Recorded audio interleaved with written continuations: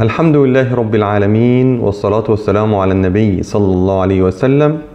هذا هو الدرس الثاني والثلاثون من دروس شرح كتاب الوافي بشرح الخلاصة البهية بترتيب أحداث السيرة النبوية. وصلنا في الكلام عن سيرة النبي صلى الله عليه وسلم. أن تكلمنا عن غزوة بدر الكبرى. وما زلنا في أحداث السنة الثانية من بعد هجرة النبي صلى الله عليه وسلم. قال المصنف شيخنا حفظه الله تعالى وفي هذه السنة بعد غزوة بدر بشهر هاجرت زينب رضي الله عنها بنت رسول الله صلى الله عليه وسلم. زينب بنت النبي صلى الله عليه وسلم تكلمنا عنها بشيء من التفصيل. في كتابنا صحابيات في مدرسة النبوة فليرجع إليه ففيه المزيد إن شاء الله تعالى. وإن كنا الآن أيضا سنتكلم عن زينب بشيء من التفصيل. المبحث الأول التعريف بها رضي الله عنها. زينب بنت رسول الله صلى الله عليه وسلم هي أكبر أخواتها من المهاجرات السيدات. واختلف هل القاسم أي ابن النبي صلى الله عليه وسلم أخوها هل القاسم قبلها أو بعدها على قولين؟ فالله أعلم. تزوجها في حياة أمها خديجة رضي الله عنها ابن خالتها هالة بنت خويلد وأسلمت هالة رضي الله عنها. وتكلمنا عنها أيضا في كتابنا صحابيات في مدرسة النبوة. تزوجها ابن خالتها أبو العاص ابن الربيع. فولدت له أمامة التي كان يحملها النبي صلى الله عليه وسلم في الصلاة ثم تزوجها بعد وفاة فاطمة علي رضي الله عنه وعن آل بيت النبي صلى الله عليه وسلم. وتكلمنا أيضا عن أمامة بنت أبي العاص بن الربيع رضي الله عنها وعن أبيها وعن أمها في كتابنا صحابيات في مدرسة النبوة فلله الحمد والمنة. المهم أن زينب رضي الله عنها تزوجها ابن خالتها أبو العاص ابن الربيع فولدت له علي ابن أبي العاص. علي هذا أردفه النبي صلى الله عليه وسلم خلفه في يوم فتح مكة كما قيل ويقال أنه مات صغيرا قبل أن يبلغ. والله أعلم. أسلمت زينب رضي الله عنها مبكرا فهي من السابقين الأولين. وهاجرت بعد غزوة بدر كما سيأتي معنا قبل إسلام زوجها بست سنين. وكان رسول الله صلى الله عليه وسلم يقول هي خير بناتي أصيبت في وسبب ذلك أنها أصيبت في هجرتها كما سيأتي معنا إن شاء الله تعالى. وتأويل العلماء لقول النبي صلى الله عليه وسلم هي خير بناتي أصيبت في مع أن فاطمة رضي الله عنها هي أفضل بنات النبي صلى الله عليه وسلم كما سيأتي معنا في ذكر فضائلها وقال عنها النبي صلى الله عليه وسلم أي عن فاطمة أنها من سيدات نساء العالمين. إذا ما تأويل قول النبي صلى الله عليه وسلم عن زينب هي خير بناتي. قال العلماء يحتمل أنه قبل أن يعلم أو قبل أن يخبر النبي صلى الله عليه وسلم أن فاطمة هي خير بناته. وقيل بل معنى ذلك أن النبي يقول هي من خير بناتي. والله أعلم. ولا شك أنهن كلهن فضليات مع النبي صلى الله عليه وسلم في الفردوس الأعلى والله أعلم. المبحث الثاني قصة هجرتها رضي الله عنها. لم تهاجر زينب رضي الله عنها مع النبي صلى الله عليه وسلم كما هاجرت باقي أخواتها لماذا؟ لأن زوجها أبا العاص ابن الربيع كان ما زال مشركا فحبست معه في مكة وكان الله سبحانه وتعالى لم ينزل بعد تحريم زواج المسلمات من المشركين وإنما نزل التحريم بعد صلح الحديبية كما سيأتي معنا إن شاء الله تعالى المهم أبو العاص ابن الربيع رضي الله عنه أسلم بعد ذلك كان في هذا الوقت من رجال مكة المعدودين مالا وأمانة. وكان لهالة بنت خويلد كما قلنا وكانت خديجة خالته فسألت خديجة رسول الله صلى الله عليه وسلم أن يزوجه زينب وكان صلى الله عليه وسلم لا يخالف خديجة لكمال عقلها كما تعلمون. كمل من الرجال كثير وكمل من النساء أربع منهن خديجة رضي الله عنها. وكانت أمنا خديجة رضي الله عنها تعد أبا العاص هذا كأنه من أولادها. فلما أكرم الله عز وجل النبي بالنبوة وآمنت خديجة وبناته رضي الله عنهن وصدقنه وشهدنا أن لا إله إلا الله وأن محمدا رسول الله وثبت أبو العاص على شركه. وحينها مشى المشركون إلى أبي العاص بن الربيع فطلبوا منه أن يفارق زوجته زينب وقالوا له أنت ما زلت على الشرك على دين قومك نحن نزوجك أي امرأة شئت. فقال لا الله إذا أي لا والله لا أتزوج غيرها.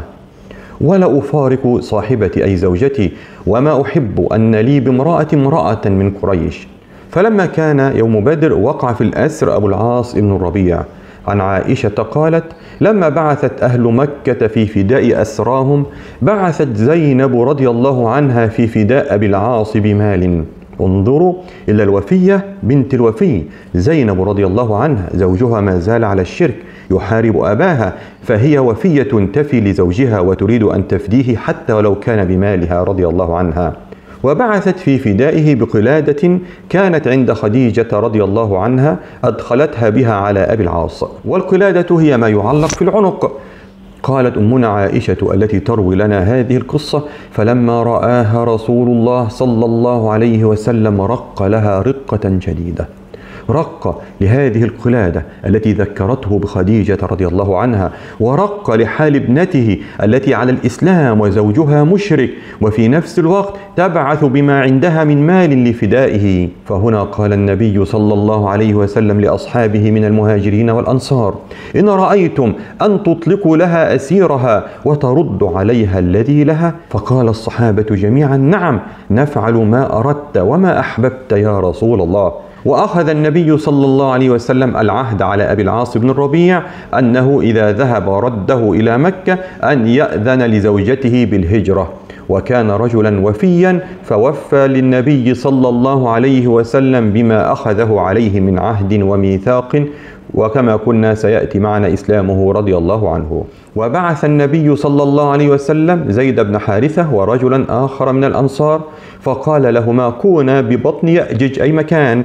حتى تمر بكما زينب فتصحباها حتى تأتي بها. أي أن زوجها سيأذن لها أن تذهب إلى هذا المكان فإذا يأتي بها زيد بن حارثة وهذا الأنصاري. المهم أن النبي صلى الله عليه وسلم في هذا الوقت أرسل زيد بن حارثة وقال له ألا تنطلق فتجيء بزينب؟ فقال بلى يا رسول الله. قال فخذ خاتمي هذا وأعطى له خاتمه. لماذا أعطى له الخاتم؟ حتى يكون يعني بمثابة أمان لزينب. لما ترى خاتم النبي صلى الله عليه وسلم مع زيد فتعطي له الأمان. انطلق زيد فلم يزل يتلطف فلقي راعيا فقال لمن ترعى فقال الراعي لأبي العاص فقال له لمن هذه الغنم؟ قال لزينب بنت محمد. فصار مع الراعي شيئا ثم قال له هل لك أن أعطيك شيئا تعطيها إياه ولا تذكره لأحد؟ قال الراعي نعم هو يرعى لغنمها وهو أمين على سرها فأعطاه خاتم النبي صلى الله عليه وسلم. فانطلق الراعي وأدخل غنمه وأعطاها الخاتم فعرفته فقالت من أعطاك هذا؟ قال رجل. قالت أين أدركته؟ قال بمكان كذا وكذا. ولما خرجت زينب وخرج معها كنانة ابن الربيع أخو أبي العاص بن الربيع. وأخذ قوسه وكنانته أي التي فيها السهام ثم خرج بها نهارا يقود بها وهي في هودجها وتحدثت بذلك رجال قريش قالوا كيف تخرج؟ وقد أصاب أبوها النبي صلى الله عليه وسلم وأصحابه منا ما أصابوا يوم بدر كيف تخرج هكذا نهارا بين أظهرنا؟ فخرجوا في طلبها حتى أدركوها بمكان يسمى ذي طوى. وكان أول من سبق ووصل إليها رجل يسمى هبار بن الأسود. وهذا الرجل أسلم وحسن إسلامه بعد ذلك كما سيأتي معنا. أدركها هبار ومعه رجل آخر يسمى نافع بن عبد القيس الفهري. أما نافع هذا فلم يعلم بإسلامه والله أعلم. المهم هبار هذا ضرب البعير برمحه وهكذا وروعها حتى سقطت من على البعير وكانت حمل أي كانت حاملا كما قيل فسقطت من فوق البعير فأنزلت جنينها وأصابها دم وأهريق دمها رضي الله عنها. فلما حدث هذا غضب حمها وهو كنانة كما قلنا أخو أبي العاص بن الربيع. فنزل ونصر كنانته التي فيها السهام. وقال والله لا يدنو مني رجل إلا وضعت فيه سهما. فخاف الناس ورجعوا. وأتى أبو سفيان في جلة أي في عظماء قريش. فقال له أبو سفيان أيها الرجل كف عنا نبلك حتى نكلمك. فأنزل نبله وسهمه. فقال أبو سفيان إنك لم تصب. حين خرجت من امرأة على رؤوس الناس علانية وقد عرفت مصيبتنا ونكبتنا وما قد دخل علينا من محمد فيظن الناس أي من العرب إذا خرجت إليه ابنته علانية من ظهرانينا أن ذلك من ذل أصابنا عن مصيبتنا التي كانت وإن ذلك منا ضعف ووهن وأنه لعمري ما لنا في حبسها عن أبيها حاجة أي نحن لا نريد أن نحبس البنت عن أبيها هذا لا شأن لنا به هذا ليس من أخلاق العرب وقال له أرجع المرأة حتى إذا هدأ الصوت. وتحدث الناس أن قد رددناها فسلها سرا وألحقها بأبيها. قالوا ففعل كنانة هذا. وقالوا أن هند بنت عتبة التي كانت امرأة أبي سفيان أسلمت بعد ذلك وحسن إسلامها وهي أم معاوية أمير المؤمنين بعد ذلك. وتكلمنا أيضا عن فضلها في كتابنا صحابيات في مدرسة النبوة. هند هذه قالوا أنها كانت تقول لزينب هذا بسبب أبيك ومع ذلك. قالت لها إن كان لك حاجة بمتاع مما يرفق بك في سفرك أو تريدين مالا فإن عندي حاجتك. وقالت لها فإنه لا يدخل بين النساء ما يدخل بين الرجال.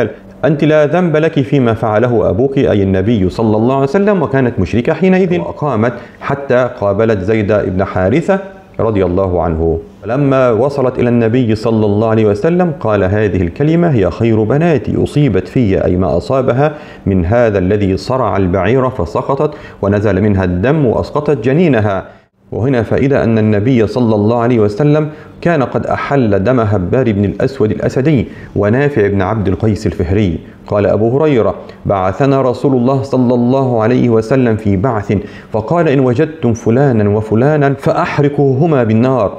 ثم قال النبي صلى الله عليه وسلم حين أرادوا الخروج قال إني أمرتكم أن تحرقوا فلانا وفلانا وإن النار لا يعذب بها إلا الله فإن لقيتموهما فاقتلوهما أي اثنين. فخرجت السرية ولم تصب هبار هذا ولا نافع وأسلم هبار رضي الله عنه وأصابه الإسلام وهاجر بعد ذلك والله أعلم. وقالوا أنه عاش بعد ذلك إلى خلافة معاوية. وأما نافع أيضا فكان قد فات هذه السرية ولكنه لم يسلم على الصحيح والله أعلم. المبحث الثالث معنا زوجها أبو العاص بن الربيع رضي الله عنه. هو أبو العاص بن الربيع بن عبد العزى من بني عبد شمس بن مناف القرشي. صهر النبي صلى الله عليه وسلم وكما قلنا هو والد أمامة التي كان يحملها النبي صلى الله عليه وسلم في صلاته وهو ابن هالة بنت خويلد وهي أخت خديجة رضي الله عنهما.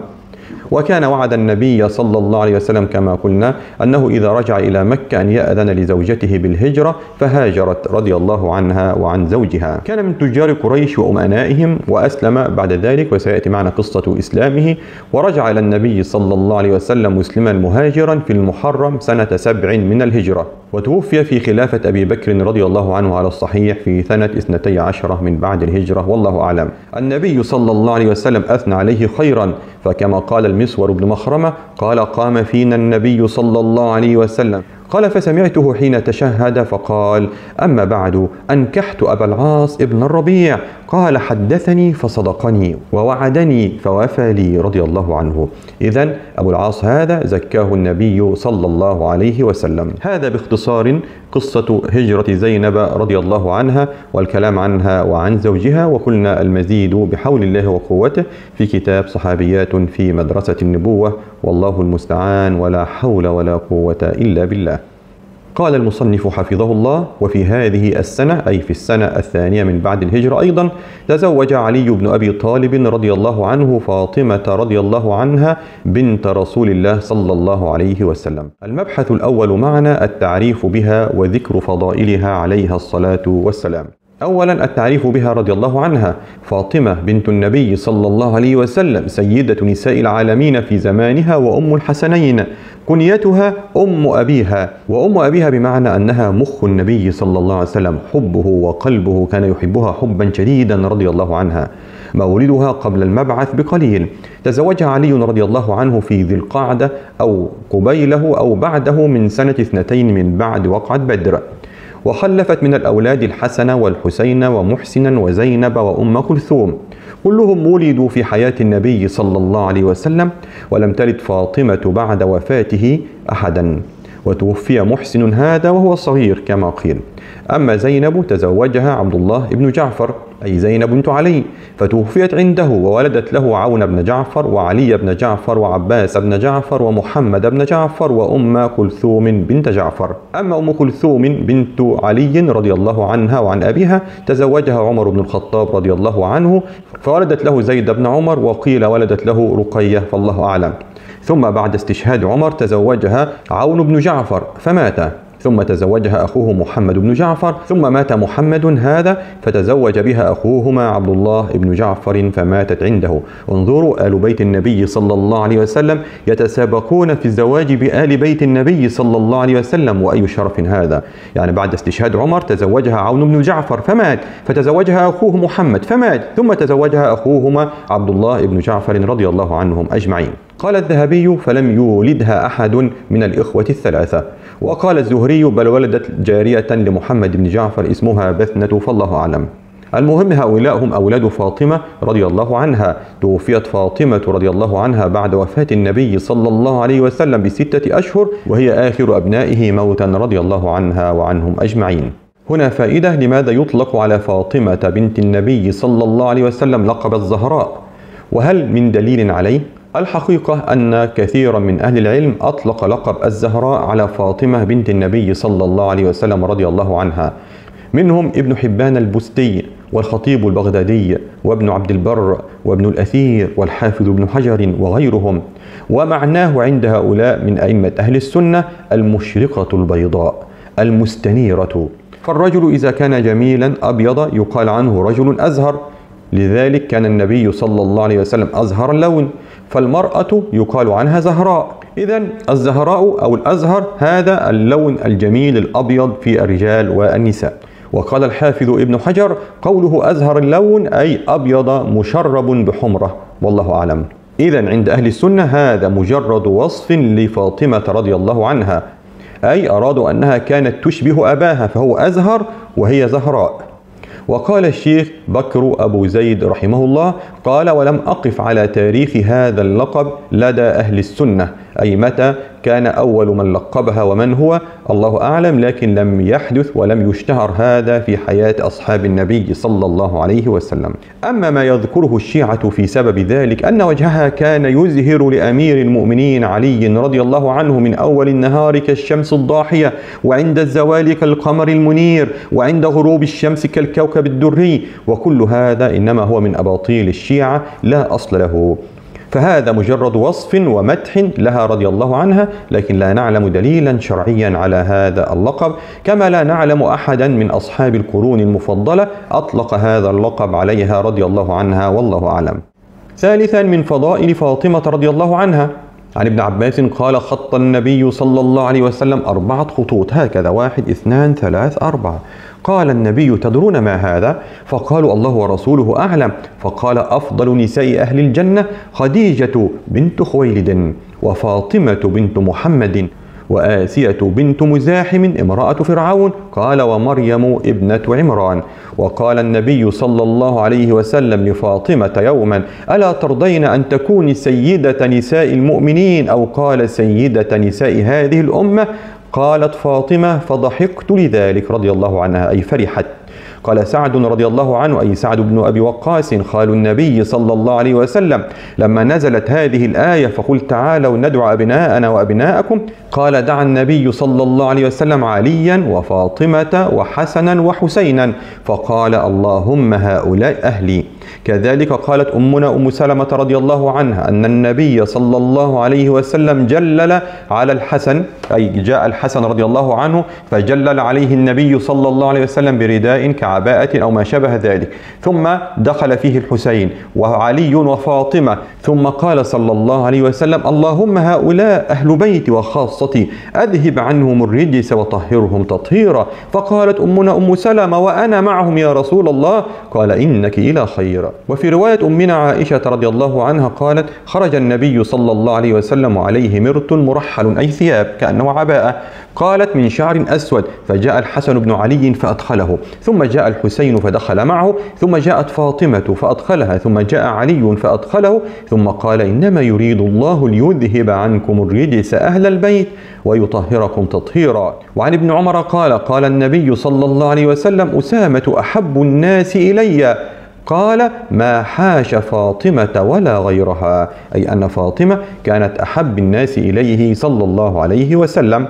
كذلك قال علي دخل علي رسول الله صلى الله عليه وسلم. قال وأنا نائم على المنام أي مكان في بيته نام فيه فاستسقى الحسن أو الحسين. قال فقام النبي صلى الله عليه وسلم إلى شاة بكي فحلبها فضرت لم يكن فيها لبن فحلبها النبي صلى الله عليه وسلم فضرت لبنا كثيرا ببركته صلى الله عليه وسلم. فجاءه الحسن يريد أن يشرب فنحاه النبي صلى الله عليه وسلم. فقالت فاطمة يا رسول الله كأنه أحبهما إليك. قال لا ولكن استسقى قبله أي أنا أسقي من أراد أن يشرب وطلب اللبن أولا. ثم قال النبي صلى الله عليه وسلم لفاطمة إني وإياك وهذين أي الحسن والحسين وهذا الراقد في مكان واحد يوم القيامة. كذلك النبي صلى الله عليه وسلم توضأ يوما في إناء ثم أفرغه على علي رضي الله عنه. بعدما توضأ في هذا الإناء أخذ هذا الماء وأفرغه على رأس علي وجسده. ثم قال اللهم بارك فيهما وبارك عليهما وبارك لهما في نسلهما. رضي الله عنهما. أي علي وفاطمة.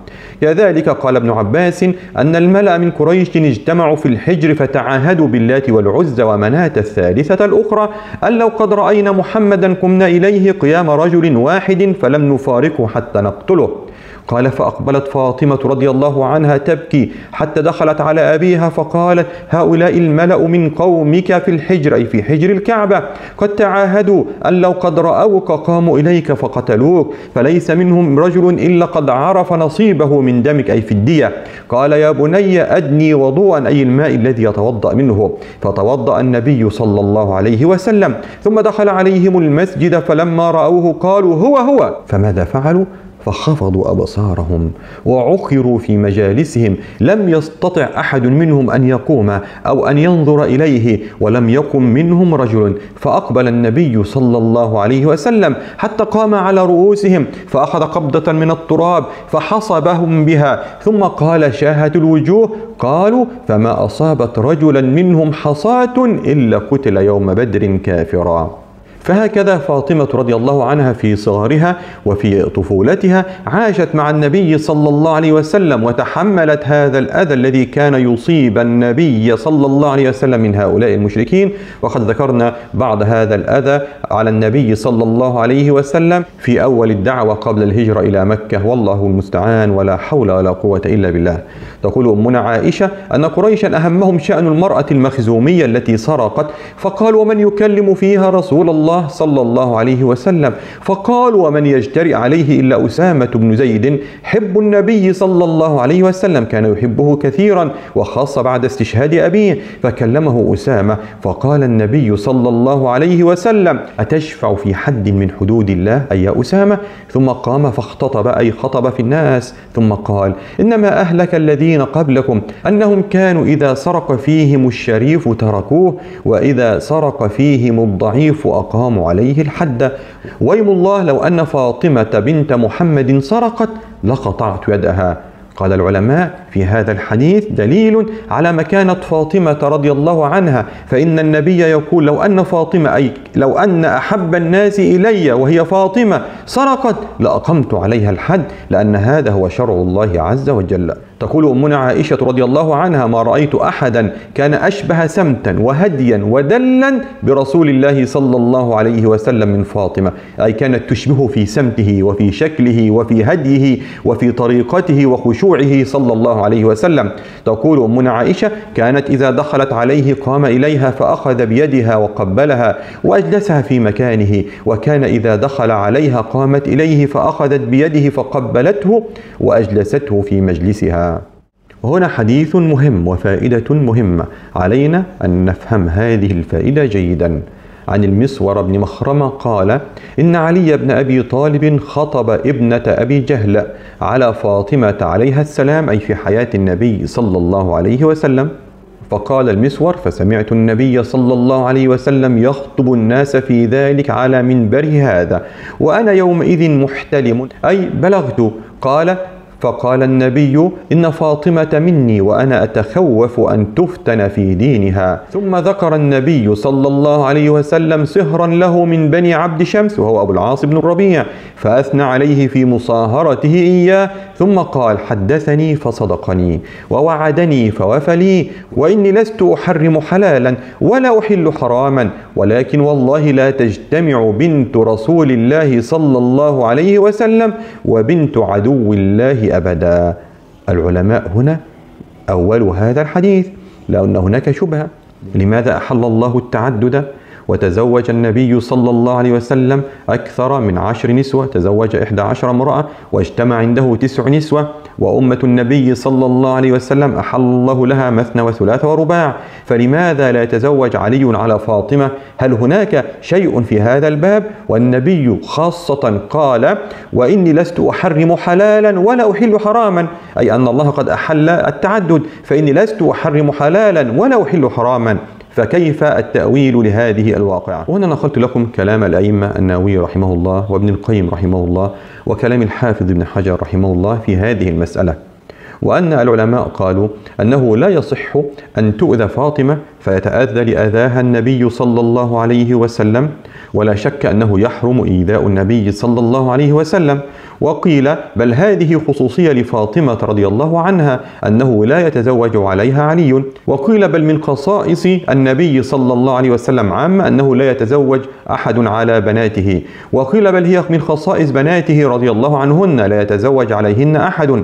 وقيل أن المراد أن الله أعلم النبي صلى الله عليه وسلم أن عليا سيراعي خاطره وأنه لن تجتمع بنت النبي صلى الله عليه وسلم مع بنت أبي جهل مع أنها كانت قد أسلمت وقيل بل أنه لا يجوز أن تكون زوجة علي رضي الله عنه وهي بنت أبي جهل بنت عدو الله مع النبي صلى الله عليه وسلم في منزلة واحدة لأن فاطمة في منزلة النبي صلى الله عليه وسلم وعلي كما قال النبي أنا وأنت وهذان أي الحسن والحسين وعلي في مكان واحد يوم القيامة. فإذا كيف تجتمع بنت عدو الله أبي جهل مع فاطمة مع النبي في الفردوس الأعلى؟ كل هذا الكلام قيل والذي يترجح عندي والله أعلم في هذه المسألة أن هذا من خصائص النبي صلى الله عليه وسلم ألا يتزوج أحد على بناته.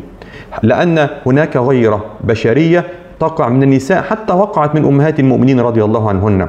وهذه الغيرة جعلها الله في طبيعة النساء. فإن الله جعل خصيصة للنبي صلى الله عليه وسلم لا تؤذى أي بنت من بناته إكراما له صلى الله عليه وسلم. ثم بعد أن ماتت فاطمة تزوج علي مثنى وثلاث ورباع وكثير وطلق وتزوج وتسرى وكل هذا فعله علي رضي الله عنه. لذلك قال النبي أي أنا لم أحرم على علي أن يتزوج أو لم أحرم عليه التعدد ولكن هذه هذه خصيصة لبنات النبي صلى الله عليه وسلم إكراما للنبي صلى الله عليه وسلم والله أعلم. المبحث الرابع علي ابن أبي طالب رضي الله عنه. وقد تكلمنا عن علي بن أبي طالب رضي الله عنه بشيء من التفصيل في كتابنا القول المبين في فضل العشرة المبشرين وتاريخ الخلفاء الراشدين.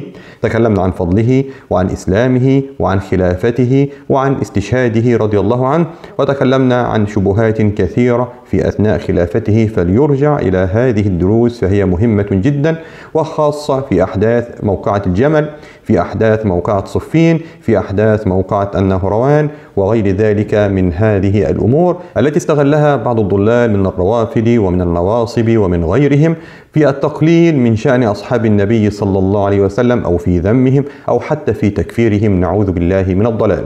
اولا التعريف بعلي رضي الله عنه هو علي ابن أبي طالب ابن عبد المطلب أي ابن عم النبي صلى الله عليه وسلم. علي رضي الله عنه كنيته أبو الحسن شهد بدرا والمشاهد كلها مع النبي صلى الله عليه وسلم إلا تبوك كما سيأتي معنا أن النبي صلى الله عليه وسلم خرج إلى تبوك واستخلفه على أهل المدينة والنساء والصبيان. علي رضي الله عنه اضطر يوما أن يدافع عن نفسه في الفتن التي كانت في خلافته فقال لغلامه اكتب أي للناس محمد النبي أخي وصهري وحمزة سيد الشهداء عمي وجعفر الذي يمسي ويضحي يطير مع الملائكة ابن أمي.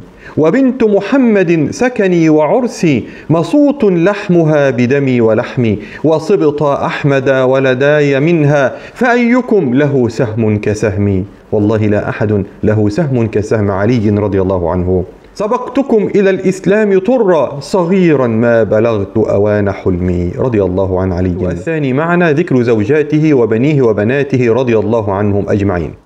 الأولى بنت النبي صلى الله عليه وسلم فاطمة بنت الرسول صلى الله عليه وسلم سيدة نساء العالمين. لم يتزوج علي رضي الله عنه على فاطمة حتى توفيت بعد الرسول صلى الله عليه وسلم بستة أشهر. فلما ماتت تزوج بعدها بزوجات كثيرة. منهن من توفيت في حياته ومنهن من طلقها ومنهن من توفي عنها وتوفي عن أربع كما سيأتي إن شاء الله تعالى. تاريخ وقصة زواج علي رضي الله عنه من فاطمة رضي الله عنها. علي رضي الله عنه تزوج بها كما كنا بعد غزوة بدر في السنة الثانية من بعد الهجرة. عن بريدة قال خطب أبو بكر وعمر رضي الله عنهما إثنان فاطمة فقال النبي صلى الله عليه وسلم إنها صغيرة فخطبها علي بعد ذلك فزوجها النبي لعلي رضي الله عنهم أجمعين. عن علي يحكي قصة ذلك يقول أنه أصاب شارفا أي ناقة كبيرة مسنة مع النبي صلى الله عليه وسلم في غنائم يوم بدر. قال وأعطاني النبي صلى الله عليه وسلم شارفا أخرى أي كهدية من عند النبي صلى الله عليه وسلم. قال فأنختهما يوما عند باب رجل من الأنصار وأنا أريد أن أحمل عليهما إذخرا لأبيعه. أي يأتي بالإذخر هذا هذا النبات فيضع هذا الإذخر على هاتين الناقتين ويبيع منه في الأسواق. قال ومعي صائغ من بني قينقاع. أي رجل يريد أن يشتري هذا الإذخر قال فاستعين به أي بهذا المال على وليمة فاطمة.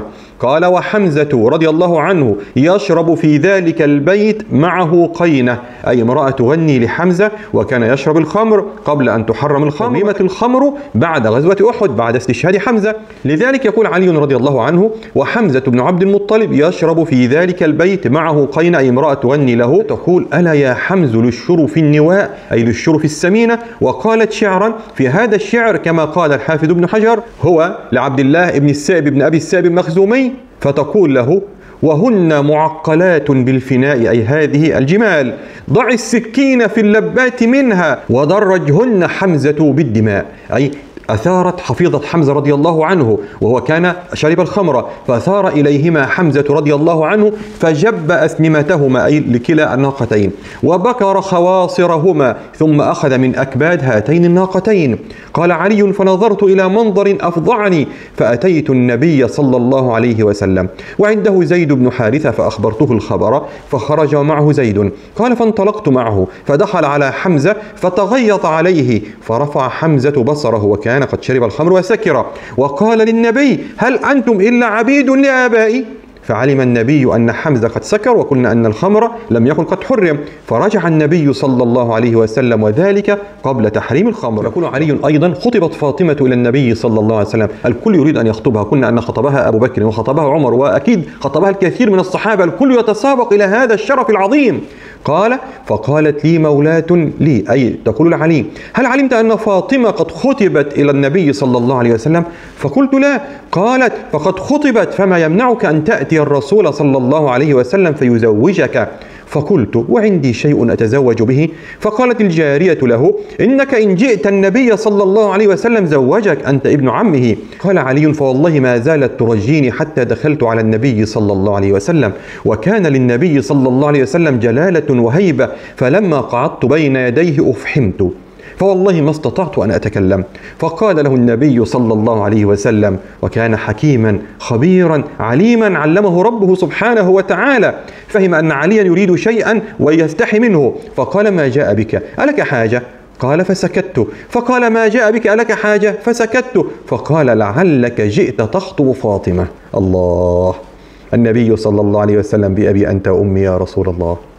فهم ابن عمه وفهم ما جاء به. لماذا يستحي إذا يريد أن يتزوج فاطمة؟ قال لعلك جئت تخطب فاطمة؟ فقلت نعم. فقال هل عندك من شيء تستحلها به؟ فقلت لا لأن كلا الناقتين كما مر معنا قتلهما حمزة. قال فقلت لا والله يا رسول الله. قال فما فعلت درع سلحتكها أي أعطيتك هذه الدرع؟ قال علي فوالذي نفس علي بيد إنها لحطامية ما ثمنها أربعة دراهم أي ما تساوي أربعة دراهم. فقلت عندي يا رسول الله فقال قد زوجتكها. أي بهذه الدرع فابعث إليها بها فاستحلها بها. قال علي فإن كانت لصداق فاطمة بنت النبي صلى الله عليه وسلم. بأبي أنت وأمي يا رسول الله. ما أحلمك وما أكرمك. صلى الله عليه وسلم. في رواية أن النبي صلى الله عليه وسلم قال مرحبا وأهلا. قال فرجعت إلى الأنصار فقالوا لي ما وراءك؟ قال قلت ما أدري غير أنه قال لي مرحبا وأهلا. قالوا يكفيك من رسول الله صلى الله عليه وسلم إحداهما. فقد أعطاك الأهل وأعطاك الرحبة. قال فلما كان بعد ذلك بعدما زوجه قال له يا علي إنه لابد للعرس من وليمة. فقال أكرم الأنصار وسيدهم. سيد الخزرج سعد بن عبادة قال عندي كبش. قال وجمع له رهط من الأنصار آصع من ذرة أي عددا منها. قال فلما كان ليلة البناء قال النبي لعلي يا علي لا تحدث شيئا حتى تلقاني. فأتى النبي صلى الله عليه وسلم إليهما. فدعا النبي صلى الله عليه وسلم بماء فتوضأ منه ثم أفرغه على علي فقال اللهم بارك فيهما وبارك عليهما. قال وبارك لهما في نسلهما. الله. أي أن النبي صلى الله عليه وسلم دعا له ولزوجته ولأبنائه رضي الله عنهم أجمعين. ثالثا فوائد مهمة من هذا الزواج المبارك. صداق بنت النبي صلى الله عليه وسلم كم كان؟ يقول ابن عباس كما مر معنا في الرواية أن عليا قال تزوجت فاطمة رضي الله عنها فقلت يا رسول الله ابن بي. قال أعطها شيئا. قال قلت ما عندي من شيء. قال فأين درعك الحطمية؟ قال علي عندي. قال فأعطها إياها. قال علي إنها لحطمية. ما ثمنها أربعة دراهم؟ هذا هو صداق بنت النبي صلى الله عليه وسلم. جهاز بنت النبي صلى الله عليه وسلم. قال علي جهز النبي صلى الله عليه وسلم فاطمة في خميل وقربة ووسادة أدم حشوها ليف. أي هذا هو جهاز بنت النبي صلى الله عليه وسلم. هذا كل ما جمعه النبي صلى الله عليه وسلم لابنته. ما هو؟ قطيفة وقربة للماء ووسادة أدم أي من جلد حشوها ليف. أي حشو هذه الوسادة من الليف بأبي أنت وأمي يا رسول الله. قال ورحيين أي من الرحى التي تطحن بها الحبوب. قال وجرتين والجرة هي الإناء المعروف من الفخار. إذا هذا ما جمع النبي صلى الله عليه وسلم لابنته. هذه القطيفة جاء في رواية قال ودخل النبي صلى الله عليه وسلم عليهما في قطيفتهما أي هذه القطيفة التي أعطاها لهما النبي صلى الله عليه وسلم قال علي إذا غطت رؤوسهما تكشفت أقدامهما وإذا غطي أقدامهما تكشفت رؤوسهما. هذا كل ما جمعه النبي صلى الله عليه وسلم يا مسلمون لبناته. هذا مهر فاطمة وهذا صداق فاطمة وهذا جهاز فاطمة سيدة نساء العالمين رضي الله عنها. ثلاثة تعليم رسول الله صلى الله عليه وسلم لابنته وزوجها. يقول علي رضي الله عنه أنه قال لفاطمة يوما والله لقد سنوت حتى لقد اشتكيت صدري. أي علي رضي الله عنه كان يستقي للناس ليأخذ مالا. قال لقد سنوت حتى قد اشتكيت صدري. مع أنه كان بطلا قويا إلا أنه أصابه التعب والجهد. قال فقلت لفاطمة وقد جاء الله أباك بسبي فاذهبي فاستخدميه أي يطلب منه عبدا يخدمنا. فقالت فاطمة أيضا وأنا والله لقد طحنت حتى مجلت يداي. أي أصاب يدها من كثرة التعب البثر الذي يخرج من اليدين عندما تعمل بهما كثيرا في طحن الرحى تقول وأنا والله قد طحنت حتى مجلت يداي. قال فأتت النبي صلى الله عليه وسلم فقال ما جاء بك يا بنية فقالت جئت لأسلم عليك. واستحيت فاطمة أن تسأله ورجعت. فقال لها علي ما فعلت؟ قالت استحييت أن أسأله رضي الله عنها. قال فأتيناه جميعا. كلاهما علي مع فاطمة. يريد علي أن يشجع فاطمة وفاطمة أن تشجع علي. كلاهما عنده الحياء. فقال علي يا رسول الله والله لقد سنوت حتى اشتكيت صدري. وقالت فاطمة قد طحنت حتى مجلت يداي. وقد جاءك الله بسبي وسعة فأخدمنا فقال النبي صلى الله عليه وسلم والله لا أعطيكما وأدع أهل الصف تطوى بطونهم لا أجد ما أنفق عليهم. كانوا في فقر شديد يحتاجون إلى الطعام. فيقول النبي صلى الله عليه وسلم أدع أهل الصف تطوى بطونهم أي من شدة الجوع لا أجد ما أنفق عليهم ولكن أبيعهم أي هذا السبي وأنفق عليهم أثمانهم. فرجع علي مع فاطمة فأتاهما النبي صلى الله عليه وسلم وقد دخل في قطيفتهما كما قلنا إذا غطت رؤوسهما تكشفت أقدامهما وإذا غطيا أقدامهما تكشفت رؤوسهما. فلما رأى علي وفاطمة النبي صلى الله عليه وسلم ثار مسرعين أي من تحت هذا الغطاء فقال النبي مكانكما ثم قال ألا أخبركما بخير مما سألتماني؟ أي من الخادم.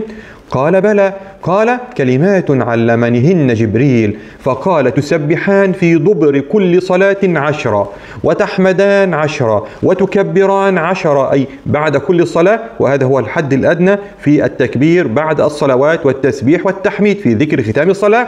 قال وإذا أويتما إلى فراشكما فسبحا ثلاثا وثلاثين واحمدا ثلاثا وثلاثين وكبر أربعا وثلاثين أي هذا قبل النوم فهو خير لكم من خادم. ما معنى فهو خير لكم من خادم؟ قال العلماء إما أن هذا الذكر يعين ويعطي القوة والطاقة على العمل ولا يجد المسلم المشقة إذا سبح وذكر الله في هذه الأذكار بعد الصلوات وقبل النوم وإما معنى ذلك أن الآخرة خير وأبقى أي أن تكسب الحسنات خير لك من أن تخدم في الدنيا. والأول هو الأولى والله أعلم. لذلك النبي صلى الله عليه وسلم وصيته كن في الدنيا كأنك غريب أو عابر سبيل. هذه وصية النبي صلى الله عليه وسلم لأمته جميعا. هكذا عاش صلى الله عليه وسلم. وهذا كان مهر ابنته وهذا جهازها. هكذا كانت تعيش مع زوجها. هكذا كان يعلمها وزوجها النبي صلى الله عليه وسلم. قال عبد الله بن عمر أخذ النبي صلى الله عليه وسلم بمنكبي. وقال كن في الدنيا كأنك غريب أو عابر سبيل صلى الله عليه وسلم. ثانية. من زوجات علي رضي الله عنه بعد فاطمة كنا أنهما تزوج على فاطمة. الثانية أمامة بنت أبي العاص ابن الربيع بن عبد العزة. تكلمنا عنها أيضا لله الحمد والمنة في كتاب صحابيات في مدرسة النبوة. أمها زينب بنت النبي صلى الله عليه وسلم وهي التي كان يحملها النبي صلى الله عليه وسلم وهو في الصلاة إذا قام حملها وإذا سجد وضعها كما ثبت عنه صلى الله عليه وسلم. وكان النبي صلى الله عليه وسلم يحبها حبا شديدا. تزوجها علي رضي الله عنه في إمرة عمر بعد فاطمة وبقيت معه إلى أن استشهد رضي الله عنه فولدت له محمد ابن علي محمد الأوسط. ثم تزوجها بعد استشهاد علي المغيرة ابن نوفل ابن الحارث ابن عبد المطلب. فتوفيت عنده وولدت له يحيى وقيل لم تلد لا لعلي ولا للمغيرة فالله أعلم. الثالثة أسماء بنت عميس الخثعمية رضي الله عنها وتكلمنا عنها أيضا بشيء من التفصيل في كتاب صحابيات في مدرسة النبوة. أسماء بنت عميس من المهاجرات الأوائل أسلمت قبل دخول النبي صلى الله عليه وسلم دار الأرقم وهاجر بها زوجها جعفر بن أبي طالب جعفر الطيار إلى الحبشة فولدت له هناك عبد الله بن جعفر ومحمد بن جعفر وعون بن جعفر. ثم بعد ذلك هاجرت معه إلى المدينة سنة سبع بعد فتح خيبر. استشهد جعفر رضي الله عنه في سرية مؤتة ثم تزوج بها أبو بكر الصديق رضي الله عنه ولدت له محمد ابن أبي بكر في حجة الوداع. ثم توفي الصديق فغسلته وتزوج بها علي. يقال أيضا أنها ولدت لعلي يحيى وعونا وعاشت بعد استشهاد علي رضي الله عنها. أمها خولة بنت عوف بن زهير الجرشية. وقيل اسمها هند. ولدت بنات من رجلين أي هند أو خول هذه. منهن ميمونة زوجة النبي صلى الله عليه وسلم وأم الفضل بنت الحارث كانت تحت العباس وسلمى بنت عميس وكانت تحت حمزة. ثم استشهد حمزة عنها يوم أحد تزوجها شداد بن الهاد رضي الله عنه فولدت له عبد الله بن شداد. أسماء بنت عميس أيضا أختهن لأمهن. قال النبي صلى الله عليه وسلم عن هؤلاء الأخوات الصالحات قال عنهن الأخوات المؤمنات رضي الله عنهن. الرابعة من زوجات علي رضي الله عنه الحنفية وهي أم محمد بن الحنفية بن علي رضي الله عنه وهي من بني حنيفة وهي خولة بنت جعفر بن قيس من بني بكر بن وائل. سباها خالد رضي الله عنه أيام الصديق في حروب الردة من بني حنيفة. فصارت إلى علي رضي الله عنه فولدت له ابنه محمد الأكبر فهو محمد ابن الحنفية ومحمد ابن الحنفية سمي بذلك نسبة إلى أمه الحنفية تمييزا له عن أبناء علي رضي الله عنه من فاطمة. محمد بن الحنفية من الشيعة من يدعي فيه الإمامة والعصمة قبحهم الله وقد كان من سادات المسلمين ولكنه ليس بمعصوم ولا أبوه معصوم رضي الله عنهم أجمعين. ومحمد بن الحنفية ليس أفضل من أبيه لا شك. كما عند بعض الشيعة يعتقدون ذلك. وليس هو وأبوه علي رضي الله عنه أفضل من أبي بكر وعمر رضي الله عنهم أجمعين. الخامسة أم البنين بنت حزام الكلابية. ولدت له العباس وجعفرا وعبد الله وعثمان وقد قتل هؤلاء مع أخيهم الحسين رضي الله عنهم أجمعين بكربلاء. السادسة ليلى بنت مسعود بن خالد من بني تميم. ولدت له عبيد الله بن علي وأبا بكر. وقيل أنهما قتل أيضا بكربلاء مع الحسين وقيل غير ذلك والله أعلم.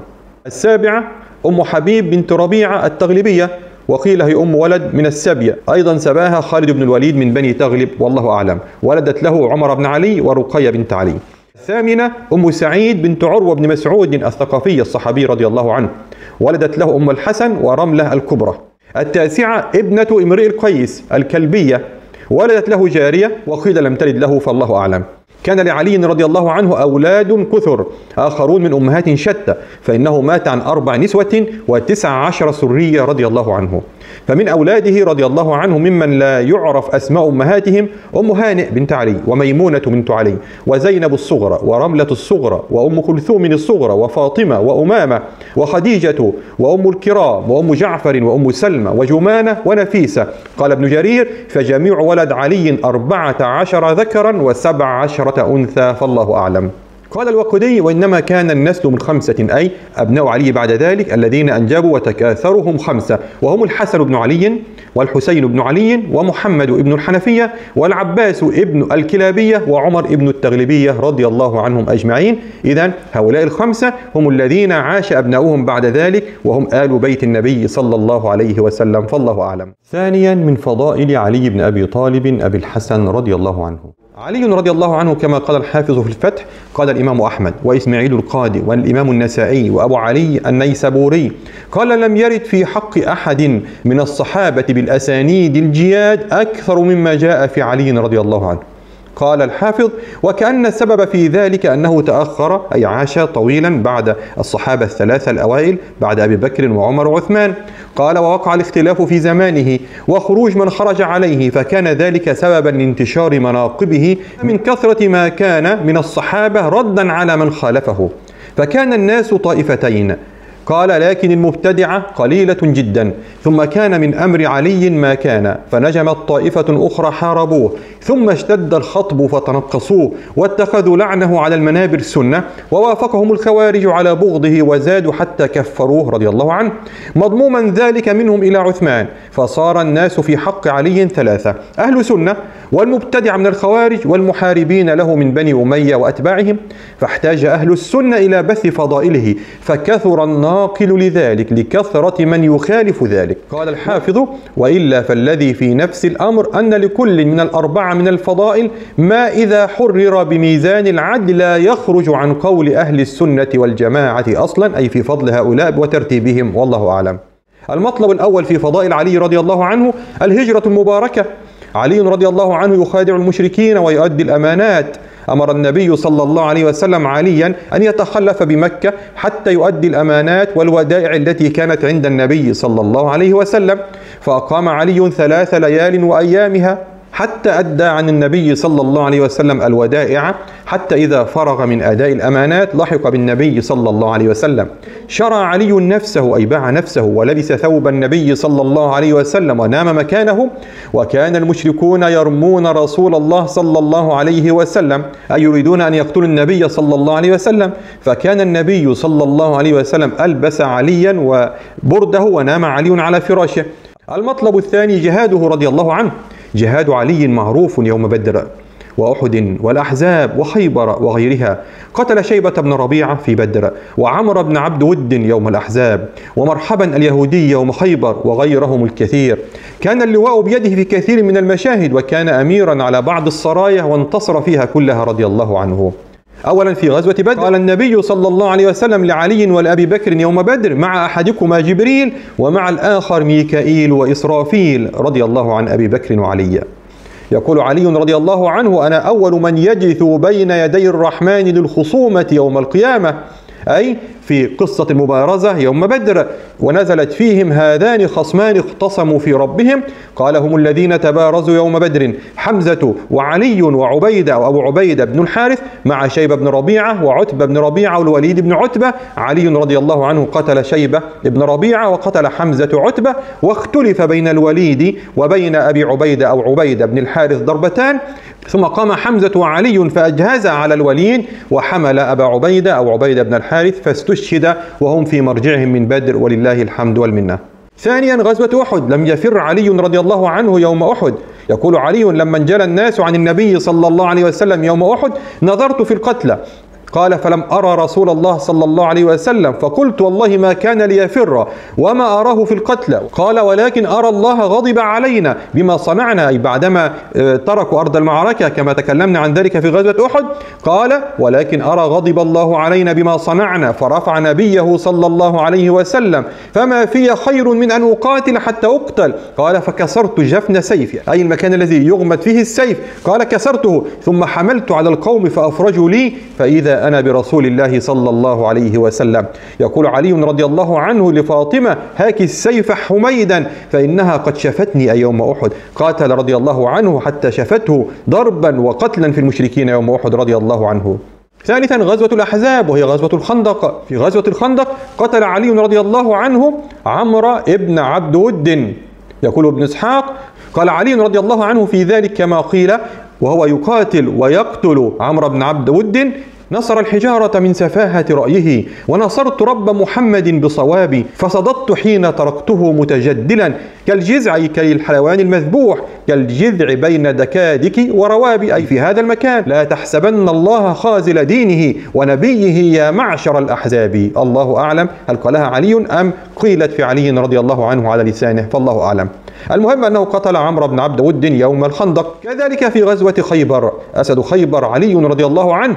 يقول سهل بن سعد رضي الله عنه وأبو هريرة رضي الله عنه دخل حديث بعضهم في بعض. قال أن النبي صلى الله عليه وسلم قال يوم خيبر لو أعطين هذه الراية أي راية النبي صلى الله عليه وسلم غدا رجلا يفتح الله على يديه يحب الله ورسوله ويحبه الله ورسوله قال فبات الناس يدوكون ليلتهم كلهم يريد أن يعطاها أيهم يعطاها؟ فقال عمر رضي الله عنه ما أحببت الإمارة إلا يومئذ. قال فتساورت لها. رجاء أن أدعى لها أي أنا آخذ الراية لقول النبي صلى الله عليه وسلم رجل يحب الله ورسوله ويحبه الله ورسوله.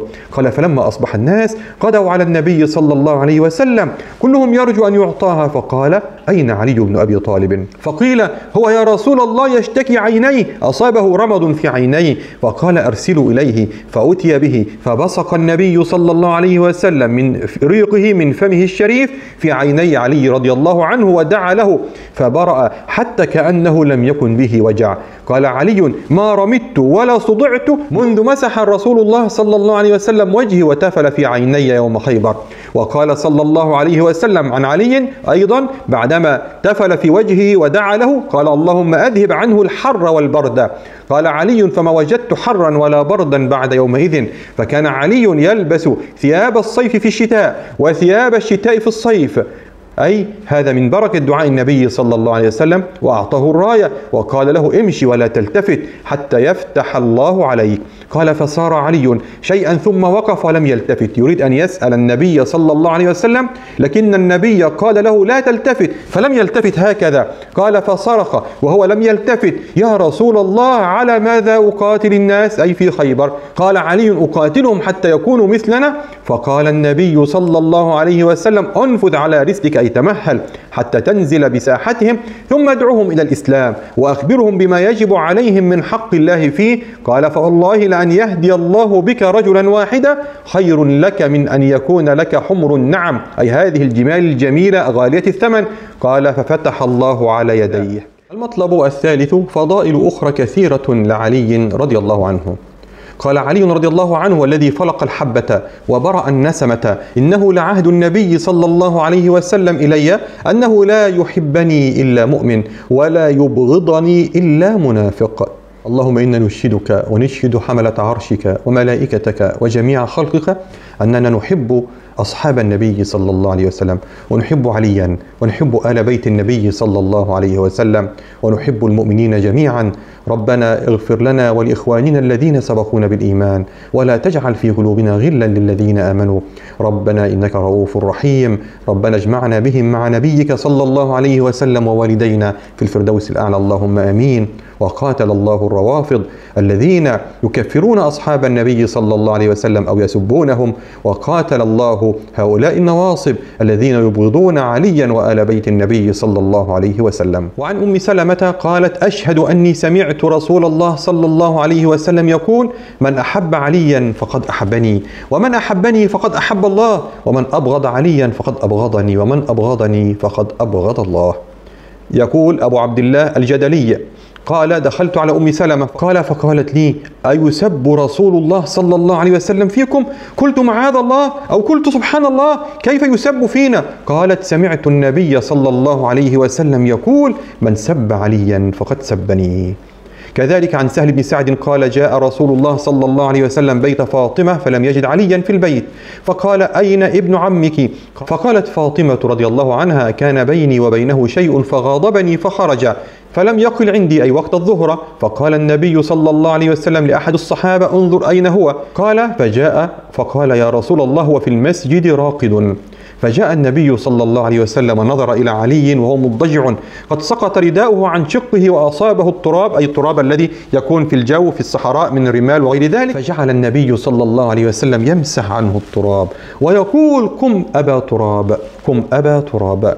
إن كانت أحب أسماء علي رضي الله عنه إليه لأبو تراب. وإن كان لا يفرح أن يدعى بها وما سماه بها إلا النبي صلى الله عليه وسلم. كذلك سعد بن أبي وقاص قال أمر معاوية ابن أبي سفيان سعدا فقال ما منعك أن تسب أبا تراب؟ أي عليا. فقال سعد يريد أن يبين فضله لمعاوية. قال أما ما ذكرت ثلاثا قالهن له رسول الله صلى الله عليه وسلم فلن أسبه. لأن تكون لي واحدة منهن أحب إلي من حمر النعم أي هذه الجمال عظيمة الثمن. قال سمعت النبي صلى الله عليه وسلم يقول له وقد خلفه في بعض مغازيه غزوة تبوك. فقال له علي يا رسول الله خلفتني مع النساء والصبيان. فقال له النبي صلى الله عليه وسلم أما ترضى أن تكون مني بمنزلة هارون من موسى إلا أنه لا نبوة بعدي؟ قال وسمعته يقول يوم خيبر لأعطين الراية رجلا يحب الله ورسوله ويحبه الله ورسوله. قال فتطاولن لها أي سعد وكل الصحابة. قال ادعوا لي عليا فأتي به أرمد كما مر معنا أصابه مرض في عينه فبصق في عينيه. ودفع إليه الراية ففتح الله عليه. قال سعد ولما نزلت هذه الآية فقل تعالوا ندعو أبناءنا وأبناءكم. قال فدعا النبي صلى الله عليه وسلم عليا وفاطمة وحسنا وحسينا فقال اللهم هؤلاء أهلي. في رواية زاد سعد قال وقال النبي من كنت مولاه فعلي مولاه. وعن علي قال دخل علي النبي صلى الله عليه وسلم وأنا نائم على المنام أي في مكان. قال فاستسقى الحسن أو الحسين فقام النبي صلى الله عليه وسلم إلى شاة لنا بكي فحلبها فضرت. أي أراد الحسن أو الحسين أن يشرب لبنا فقام النبي صلى الله عليه وسلم إلى شاة قليلة اللبن فحلبها فضرت فنزل منها لبن كثير فجاء الحسن فنحاه النبي صلى الله عليه وسلم فقالت فاطمة يا رسول الله كأنه أحبهما إليك؟ قال لا ولكنه استسقى قبله. أي النبي صلى الله عليه وسلم أعطى للذي استسقى أولا ثم قال لفاطمة إني وإياك وهذين وهذا الراقد في مكان واحد يوم القيامة. الله. النبي صلى الله عليه وسلم معه فاطمة معه علي معه الحسن والحسين في مكان واحد في الفردوس الأعلى يوم القيامة. اللهم اجمعنا بهما والدينا المسلمين اللهم أمين. وعن أم سلمة رضي الله عنها قالت جلل النبي صلى الله عليه وسلم أي بردائه على الحسن والحسين وعلي وفاطمة بهذا الرداء أو الكساء. في رواية أن النبي صلى الله عليه وسلم قال اللهم هؤلاء أهل بيتي وخاصتي أذهب عنهم الرجس وطهرهم تطهيرا. فقالت أم سلمة أمنا وأنا معهم يا رسول الله. قال إنك إلى خير. ثم قال النبي صلى الله عليه وسلم إنما يريد الله ليذهب عنكم الرجس أهل البيت ويطهركم تطهيرا. كذلك قال ابن عمر أن النبي صلى الله عليه وسلم قال الحسن والحسين سيدا شباب أهل الجنة وأبوهما خير منهما. وعن علي رضي الله عنه قال بعثني النبي صلى الله عليه وسلم إلى اليمن قاضيا فقلت يا رسول الله ترسلني وأنا حديث السن ولا علم لي بالقضاء فقال إن الله سيهدي قلبك ويثبت لسانك فإذا جلس بين يديك الخصمان فلا تقضين حتى تسمع من الآخر كما سمعت من الأول فإنه أحرى أن يتبين لك القضاء أي تسمع من الاثنين لا يجوز أن نسمع من واحد فقط. قال فما زلت قاضيا؟ قال وما شككت في قضاء بعد. رضي الله عن علي. كذلك قال النبي صلى الله عليه وسلم علي مني وأنا من علي ولا يؤدي عني إلا أنا أو علي. كذلك زيد بن أرقم يقول قال النبي صلى الله عليه وسلم وأهل بيتي أذكركم الله في أهل بيتي أذكركم الله في أهل بيتي أذكركم الله في أهل بيتي. فقال له حسين الراوي عنه ومن أهل بيته يا زيد؟ أليس نساؤه من أهل بيته؟ قال نساؤه من أهل بيته ولكن أهل بيته من حرم الصدقة بعده. قال ومن هم؟ قال هم آل علي وآل عقيل أي عقيل بن أبي طالب وآل جعفر وآل عباس. فقال حسين كل هؤلاء حرم الصدقة؟ قال نعم. وعن أبي الطفيل عن زيد بن أرقم قال لما رجع النبي صلى الله عليه وسلم عن حجة الوداع ونزل غدير خم أي مكان يسمى خم. أمر بدوحات فكممنا أي تحت شجرة عظيمة أو شجر عظيم فتم الكنس تحت هذه الشجرة. قال ثم قال كأني قد دعيت فأجبت. أي هكذا يقول النبي صلى الله عليه وسلم كأني قد دعيت فأجبت. إني قد تركت فيكم الثقلين. أحدهما أكبر من الآخر. كتاب الله وعترتي أهل بيتي. فانظروا كيف تخلفوني فيهما. فإنهما لن يتفرقا حتى يرد على الحوض. ثم قال إن الله مولاي وأنا ولي كل مؤمن. ثم أخذ بيد علي فقال من كنت وليه فهذا وليه. اللهم وال من ولاه وعاد من عداه. إذن شرف كبير لعلي رضي الله عنه أن النبي يقول صلى الله عليه وسلم اللهم وال من ولاه وعاد من عاداه. كذلك قال البراء بن عازب رضي الله عنهما أن النبي صلى الله عليه وسلم قال لعلي أنت مني وأنا منك. كذلك قال عمران بن حسين قال بعث النبي صلى الله عليه وسلم جيشا واستعمل عليهم علي بن أبي طالب فمضى في السرية فأصاب جارية أي أصاب جارية من هذه السرية قال فأنكروا عليه. قال وتعاقد أربعة من أصحاب النبي صلى الله عليه وسلم فقالوا إذا لقينا رسول الله صلى الله عليه وسلم أخبرناه بما صنع علي. وكان المسلمون إذا رجعوا من السفر بدأوا برسول الله صلى الله عليه وسلم فسلموا عليه ثم انصرفوا إلى رحالهم قال فلما قدمت السرية سلموا على النبي صلى الله عليه وسلم فقام أحد الأربعة فقال يا رسول الله ألم ترى إلى علي بن أبي طالب صنع كذا وكذا؟ قال فأعرض عنه النبي صلى الله عليه وسلم. ثم قام الثاني فقال مثل مقالته فأعرض عنه النبي صلى الله عليه وسلم. ثم قام الثالث فأعرض عنه النبي صلى الله عليه وسلم. ثم قام الرابع فأعرض عنه النبي صلى الله عليه وسلم. فأقبل النبي صلى الله عليه وسلم عليهم يعرف في وجهه الغضب.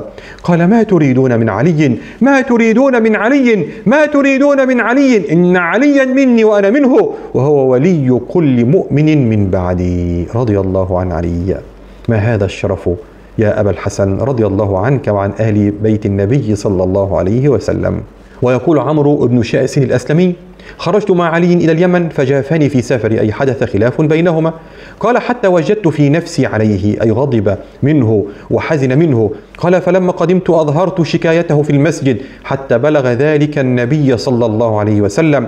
فدخلت المسجد ذات غداة ورسول الله صلى الله عليه وسلم في المسجد في أناس من أصحابه.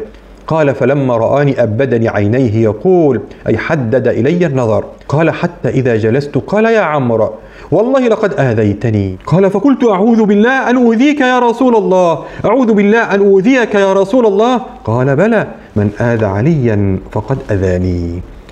كذلك في الحديث الذي حسنه بعض أهل العلم أن النبي صلى الله عليه وسلم قال إن الجنة تشتاق إلى ثلاثة علي وعمار وسلمان. أي سلمان الفارسي رضي الله عنهم. يقول أيضا أبو سعيد الخدري اشتكى عليا الناس أي أن الناس اشتكوا عليا إلى النبي صلى الله عليه وسلم فقام النبي صلى الله عليه وسلم خطيبا فقال أيها الناس لا تشكوا عليا فوالله إنه لأخيشن في ذات الله أو قال في سبيل الله. أي ربما وجدت منه شدة إنما هذه الشدة في سبيل الله. رضي الله عن علي يقول النبي صلى الله عليه وسلم له يا علي إن لك كنزا من الجنة وإنك لذو قرنيها الجنة. فلا تتبع النظرة النظرة فإنما لك الأولى وليست لك الآخرة. كذلك قال أبو سعيد الخدري كنا جلوسا ننتظر رسول الله صلى الله عليه وسلم فخرج علينا من بعض بيوت نسائه فقال فقمنا معه فانقطعت نعله. قال فتخلف علي يخصفها أي يخصف النعل أي يضبطها ويصلحها. فمضى النبي صلى الله عليه وسلم مضينا معه ثم قام ينتظره وقمنا معه. فقال إن منكم من يقاتل على تأويل هذا القرآن كما قاتلت أي أنا النبي صلى الله عليه وسلم كما قاتلت على تنزيله. قال فاستشرفنا وفينا أبو بكر وعمر فقال لا ولكنه خاصف النعل. فجئنا إلى علي نبشره قال وكأنه كان قد سمعه من النبي صلى الله عليه وسلم. يقول علي رضي الله عنه كنت شاكيا فمر بالنبي صلى الله عليه وسلم وأنا أقول اللهم إن كان أجلي قد حضر فأرحني وإن كان متاخرا فارفعني وإن كان بلاء فصبرني. فقال النبي صلى الله عليه وسلم كيف قلت؟ قال فأعاد عليه ما قال فضربه النبي برجله وقال اللهم اشفه اللهم عافه. قال ثم قال له النبي قم قال فقمت فما أعاد لي ذلك الوجع بعده. رضي الله عن علي بأبي أنت وأمي يا رسول الله صلى الله عليك ورضي الله عن علي وآل بيتك وأصحابك أجمعين. يقول علي رضي الله عنه في قصة وفاة أبي طالب عمه أي عم النبي صلى الله عليه وسلم ووالد علي قال قلت للنبي صلى الله عليه وسلم إن عمك الشيخ الضال قد مات.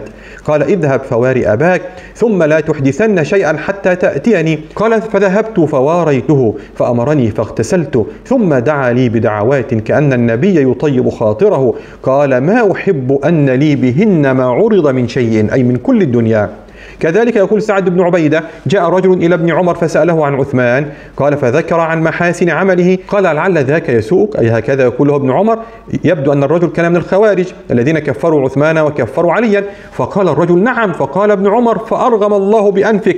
ثم سأله عن علي فذكر محاسن عمله ثم قال هو ذاك بيته أوسط بيوت النبي صلى الله عليه وسلم.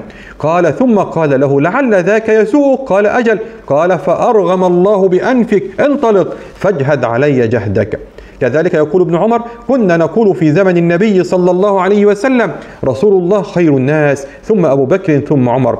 قال ولقد أوتي ابن أبي طالب ثلاث خصال لأن تكون لي واحدة منهن أحب إلي من حمر النعم. زوجه النبي صلى الله عليه وسلم ابنته وولدت له. قال سد الأبواب إلا بابه في المسجد. أي قبل وفاة النبي صلى الله عليه وسلم أمر بسد الأبواب إلا باب لعلي وباب لأبي بكر على الصحيح والله أعلم. قال وأعطاه الراية يوم خيبر يقول عمر رضي الله عنه أقرأنا أبي وأقضانا علي. أي كما أن النبي صلى الله عليه وسلم أوصاه ودعا له. كذلك يقول ابن عباس إذا حدثنا ثقة عن علي بفتيا لا نعدوها. أي إن عليا كان من أفقه الناس رضي الله عنه. استشهاده رضي الله عنه. علينا أن نفهم أن النبي صلى الله عليه وسلم بشره باستشهاده بأبي هو وأمي صلى الله عليه وسلم. يقول أبو هريرة رضي الله عنه أن النبي صلى الله عليه وسلم كان على جبل حراء فتحرك أي هذا الجبل. فقال النبي صلى الله عليه وسلم أسكن حراء. فما عليك إلا نبي أو صديق أو شهيد. قال أبو هريرة وعليه النبي صلى الله عليه وسلم وأبو بكر وعمر وعثمان وعلي وطلحة والزبير وسعد بن أبي وقاص رضي الله عنهم أجمعين. إذا النبي صلى الله عليه وسلم قال عن هؤلاء ما منهم إلا صديق أو شهيد رضي الله عنهم. وفي حديث آخر بشر النبي صلى الله عليه وسلم باستشهاده بطريقة مباشرة وذلك في غزوة ذي العشيرة. النبي صلى الله عليه وسلم وقف على علي بن أبي طالب وعمار بن ياسر وكان نائمين في غزوة ذي العشيرة. وكان قد أصابهما التراب فقال النبي صلى الله عليه وسلم لعلي يا أبا تراب إذا كناه النبي صلى الله عليه وسلم بأبي تراب كما مر معنا في خصائصه وفضائله رضي الله عنه. وقال النبي صلى الله عليه وسلم لعمار مع علي ألا أحدثكما بأشقى الناس رجلين؟ قال قلنا بلى يا رسول الله. قال أحيمر ثمود الذي عقر الناقة أي الذي قتل الناقة التي أرسلها الله آية إلى قوم ثمود وإلى نبيهم صالح عليه السلام. هذا أحد الرجلين أشقى رجلين في الدنيا. الذي عقر الناقة؟ قال والذي يضربك يا علي على هذه يعني قرنه أي يضربه على قرنه حتى تبل منه هذه أي يعني لحيته. أي أن النبي صلى الله عليه وسلم بشر أن عليا يقتل شهيدا ويضرب على قرنه فتبتل لحيته وهذا من بشارات النبي صلى الله عليه وسلم التي وعاها علي رضي الله عنه جيدا. لذلك يقول أبو سنان الدؤلي قال أنه عاد عليا رضي الله عنه في شكوة اشتكاها أي كان مريضا علي فذهب إليه أبو سنان الدؤلي يزوره قال فقلت له لقد تخوفنا عليك يا أبا الحسن في شكواك هذا قال ولكني والله ما تخوفت على نفسي منه لأني سمعت الصادق المصدوق صلى الله عليه وسلم يقول إنك ستضرب ضربة ها هنا وضربة ها هنا يعني صدغيه. قال النبي صلى الله عليه وسلم فيسيل دمها حتى يخضب لحيتك ويكون صاحبها أشقاها كما كان عاقر الناقة أشقى ثمود. إذا النبي صلى الله عليه وسلم بشر عليا ووعاها علي رضي الله عنه في حياته كلها. قتله أحد الخوارج وهو عبد الرحمن بن عمرو. المعروف بابن ملجم الحميري ثم الكندي. حليف بني جبل من كندة وهو مصري. ومات رضي الله عنه وصلى عليه ابنه الحسن. ودفن في الكوفة خوفا عليه من الخوارج أن ينبشوا عن جثته. دفن بدار الإمارة. هذا هو المشهور على الصحيح. وما قيل من أقوال الضلال وأهل البدع والضلال والشيعة وغيرهم أنه ذهب جسده فلا يدرى أين ذهبت فهذا كذب وتكلف ولا يسيغه عقل ولا شرع ولم يأتي به خبر صحيح عن آل بيت النبي صلى الله عليه وسلم أو عن الصحابة الذين كانوا يرافقون عليا رضي الله عنه. عن عاصم بن ضمرة قال قلت للحسن بن علي إن الشيعة يزعمون أن عليا يرجع. أي سيرجع بعد ذلك. فقال كذب أولئك الكذابون. لو علمنا ذلك ما تزوج نساؤه أي من بعده ولا قسمنا ميراثه. هذا قول الحسن بن علي رضي الله عنه. هذه الرواية رواها الإمام أحمد وقال الهيثمي إسناده جيد وصححه أحمد شاكر وكذلك شعيب الأرناؤوط رحم الله الجميع. قال الحافظ في الإصابة وكان قتل علي في ليلة السابع عشر من شهر رمضان سنة أربعين من الهجرة ومدة خلافته خمس سنين إلا ثلاثة أشهر ونصف شهر. لأنه بويع بعد قتل عثمان في ذي الحجة سنة خمس وثلاثين وكانت وقعة الجمل في جمادة سنة ست وثلاثين ووقعة صفين في سنة سبع وثلاثين ووقعة النهروان مع الخوارج في سنة 38 قال ثم أقام سنتين يحرض على قتال البغاة فلم يتهيأ ذلك إلى أن مات رضي الله عنه. وأسأل الله أن يجعلنا ممن يستمعون القول فاتبعون أحسنه. ربنا آتنا في الدنيا حسنة وفي الآخرة حسنة وقنا عذاب النار. اللهم إنا مغلوبون فانتصر لنا أنت حسبنا ونعم الوكيل. ربنا اغفر لنا ولوالدينا والمؤمنين والحمد لله رب العالمين.